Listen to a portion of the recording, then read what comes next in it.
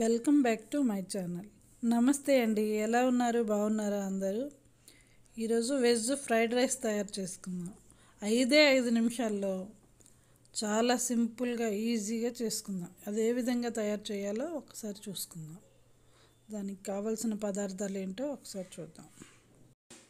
దానికోసం ముందుగా stove on చేసుకొని రైస్ బాయిల్ చేసుకోవడానికి వాటర్ని పెట్టుకోవాలి. గిన్నెలో. వాటర్ బాయిల్ అవుతుండగా నేను ఆల్రెడీ రైస్ని ఒక హాఫ్ అన్ అవర్ పాటు నానబెట్టి పెట్టుకున్నాను. దాన్ని ఆ రైస్ని వేసుకోవాలి. వేసుకొని బాయిల్ చేయాలి. ఒకసారి కలుపుకొని గరిటతో.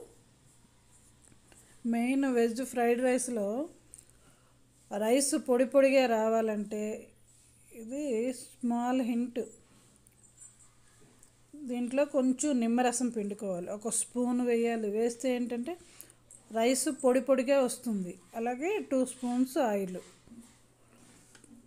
ఫ్రైడ్ రైస్కి అన్నం అతుక్కుంటే బాగోదు కదా బాగా పొడి పొడిగా వస్తే బాగుంటుంది. అందుకని ఈ విధంగా టూ స్పూన్స్ ఆయిల్ కొంచెం నిమ్మరసం వేసుకున్నారనుకోండి బాగుంటుంది. కొంచెం సాల్ట్. సాల్ట్ కొంచెం వేయాలి ఎక్కువేం కాదు. ఈ విధంగా రైస్ కుక్ అవుతుంటే ఒకసారి చూసుకోవాలి. ఈ విధంగా కట్ అవుతుంది కదా ఈ స్ట్రక్చర్ సరిపోతుంది రైస్. మరీ ఎక్కువ బాయిల్ అయితే బాగోదు. ఈ విధంగా వార్చుకోవాలి అన్నాన్ని. ఒక గిన్నెలోకి వార్చేసుకోవాలి. గింజ అన్నది అస్సలు లేకుండా వంచేసుకోవాలి. వంచేసుకొని ఆ రైస్ కొంచెం చల్లారడానికి ఒక బేసిన్లో వేసుకోవాలి. అది కొంచెం గాలి తగలాలి. కొంచెం చల్లారితే అది బాగా ఇంకా మనకి పొడి పొడిగా వస్తుంది. ఇప్పుడు ఒక బాండిని స్టవ్ మీద పెట్టుకోవాలి. అది కొంచెం వెడల్పుగా ఉన్నదైతే మనం రైస్ కలిపేటప్పుడు బాగుంటుంది. ఒక టూ త్రీ స్పూన్స్ ఆయిల్ వేసుకొని కొంచెం జీలకర్ర సన్నగా కట్ చేసుకున్న నేను ఒక ఐదు పచ్చిమిర్చి కట్ చేశాను.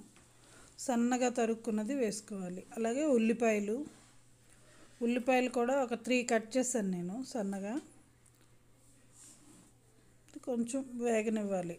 కొంచెం వేగటానికి కాస్త సాల్ట్ యాడ్ చేసుకుందాం. కొంచెం సాల్ట్ వేస్తే ఏమవుతుందంటే వేగుతుంది మాడిపోకుండా ఉంటుంది. అందుకని కొంచెం సాల్ట్ యాడ్ చేసుకోవాలి. ఇప్పుడు సన్నగా కట్ చేసుకున్న బీన్స్ ఎంత సన్నగా అయితే అంత సన్నగా ఫ్రైడ్ రైస్లోకి బాగుంటుంది. అలాగే క్యారెట్ క్యారెట్ కూడా సన్నగా తరుక్కోవాలి. నేను ఈ విధంగా కట్ చేశాను. మీరు నచ్చే విధంగా కట్ చేసుకోండి. ఎంత సన్నగా ఉంటేనే ఫ్రైడ్ రైస్లోకి బాగుంటుంది. సన్నగా చాప్ చేసుకుంటే. ఇది కొంచెం వేగాలి. ఇప్పుడు ఉల్లి పొరక స్ప్రింగ్ ఆనియన్స్ అంటారు కదా దాన్ని కూడాను సన్నగా నేను కట్ చేసి పెట్టుకున్నా. అది కూడా వేసేసుకోవాలి. మొత్తం అంతా బాగా వేగాలి. చాలా త్వరగా ఈజీగా చేసేసుకోవచ్చు. అలాగే సన్నగా తరుక్కున్న క్యాబేజీ. క్యాబేజీని కూడా కాస్త వేయించుకోవాలి. ఇప్పుడు వెనిగర్ వేసుకోవాలి. వెనిగర్ కొంచెం ఒక త్రీ ఫోర్ స్పూన్స్ వేసాను నేను. మన రైస్ క్వాంటిటీని చూసుకొని వేసుకోవాలి. మరీ ఎక్కువ కాకుండా రెడ్ చిల్లీ సాసు. ఫ్రైడ్ రైస్లో ఈ సాసులు వేస్తేనే బాగుంటుంది. ఖచ్చితంగా సాసులు వేయనే వేయాలి. రెడ్ చిల్లీ సాసు కొంచెం కలుపుకోవాలి. అలాగే సోయా సాసు అది కూడా ఒక టూ త్రీ స్పూన్స్ వేసాను. ఆ మెజర్మెంట్ చెప్తున్నాను. అంతే నేను డైరెక్ట్గా నా ఉజ్జాయింపుగా నేను వేసేస్తున్నాను. టమాటా సాసు సాస్ కూడా కొంచెం ఎక్కువ వేస్తేనే బాగుంటుంది టేస్ట్. మొత్తం అంతటిని బాగా కలుపుకోవాలి. మన వెజిటేబుల్ అంతా కుక్ అయింది కదా. టేస్టింగ్ సాల్ట్ ఫ్రెండ్స్ ఇది. చూడండి దగ్గరగా చూపిస్తున్నాను. ఇది వేసుకుంటే బాగుంటుంది. ఇప్పుడు రైస్ని వేసుకోవాలి. మన వెజిటేబుల్స్ అంతా వేగిపోయింది కదా.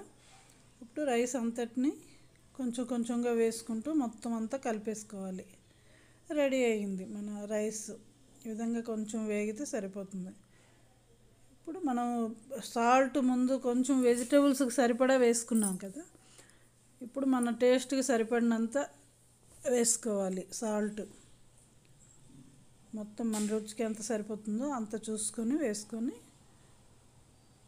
ఈ విధంగా పొడి పొడిగా కలపాలి. మరీ ఓ అద్దినట్టుగా గరిట కలపకూడదు. ఉల్లి పొరక స్ప్రింగ్ ఆనియన్స్ కూడా వేసేసుకోవాలి. అంతే. క్విక్గా చాలా ఈజీగా త్వర త్వరగా ఎప్పుడు ఏం చేయాలి ఏం చేయాలనుకుంటాం కదా ఎప్పుడన్నా ఏం వండాలి అని. ఇలాంటప్పుడు ఈ విధంగా చేసుకుంటే చాలా బాగుంటుంది. మీరు కనుక మా వీడియో చూస్తే తప్పకుండా లైక్ చేయండి షేర్ చేయండి. మరిన్ని కొత్త కొత్త వీడియోల కోసం మా ఛానల్ని సబ్స్క్రైబ్ చేయండి. Thank you for watching. Bye.